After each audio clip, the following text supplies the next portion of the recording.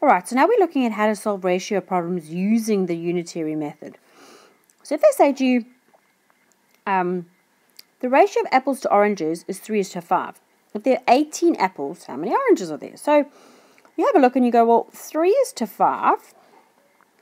I know that that tells me apples and this one tells me oranges. I know that I've got 18. What did I do to that 3 to make it 18? I times it by 6, didn't I?